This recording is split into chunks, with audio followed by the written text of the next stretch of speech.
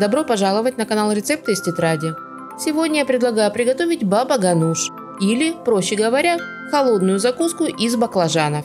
Полный перечень ингредиентов, а также краткую инструкцию по приготовлению вы, как всегда, найдете в описании под видео. В первую очередь подготовим баклажаны, которых нам понадобится 500-600 граммов. Баклажаны необходимо запечь до полной готовности. В идеале на открытом огне, чтобы в закуске чувствовался характерный для нее аромат дымка. Но в самом крайнем случае можно довести баклажаны до готовности и в обычной духовке. Получится, конечно, не так ароматно, но не менее вкусно.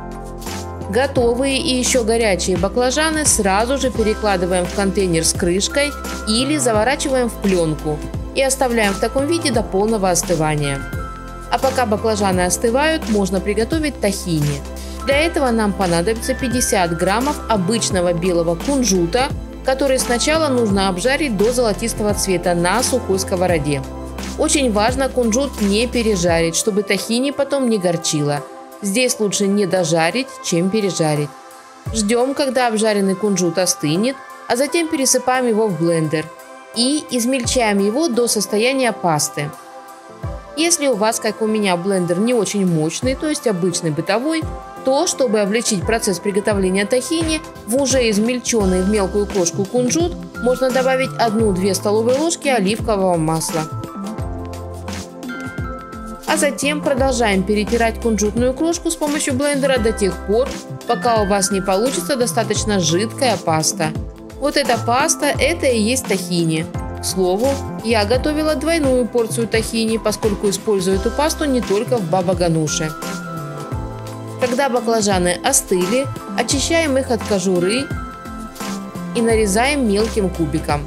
Можно также измельчить баклажаны в пасту с помощью блендера, но мне больше нравится аутентичный вариант, в котором баклажаны чувствуются мелкими кусочками. Перекладываем нарезанные баклажаны в миску и по желанию сюда же можно добавить немного запеченного сладкого перца, также очищенного от кожуры и нарезанного мелким кубиком. Затем добавляем одну или полторы ложки приготовленной нами ранее или купленной в магазине готовой тахини. И слегка перемешиваем содержимое миски, чтобы равномерно распределить тахини по баклажанам. Основа баба гануша у нас готова, Теперь закуску нужно довести до вкуса, поэтому добавляем в баклажаны 2-3 зубчика измельченного чеснока.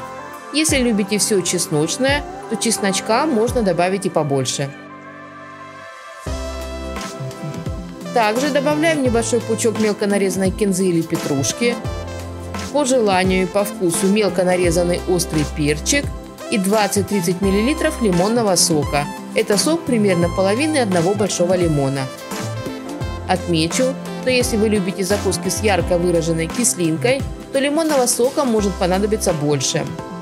Хорошо перемешиваем практически готовую закуску из баклажанов. А потом добавляем либо 2-3 столовые ложки натурального йогурта, либо такое же количество оливкового масла.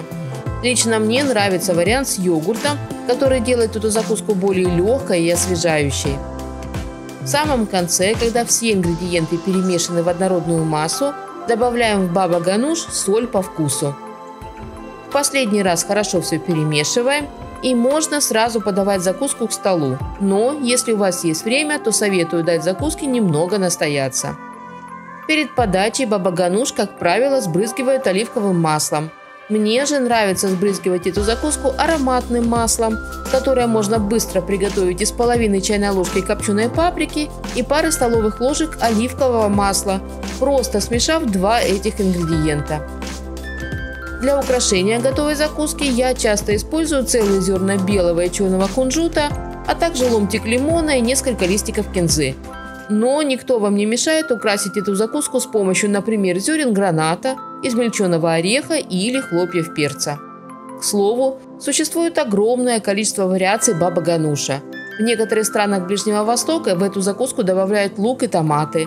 Где-то в нее не добавляют тахини, а где-то вместо йогурта или оливкового масла используют гранатовый сок, а вместо кинзы – мяту. Но в любом случае эта закуска всегда получается не только вкусной и ароматной, но и очень полезной. Поскольку баклажаны уже давно известны как овощи долголетия. Обязательно попробуйте приготовить баба гануш, который может стать прекрасной альтернативой привычной икре из баклажана. Не забывайте ставить лайки, если вам понравился этот рецепт. И, конечно же, подписывайтесь. У меня в тетрадке еще много вкусных и интересных рецептов, которыми я с радостью поделюсь. Мира всем нам, здоровья и чистого неба над головой. Берегите себя и своих близких. Приятного аппетита и до новых встреч!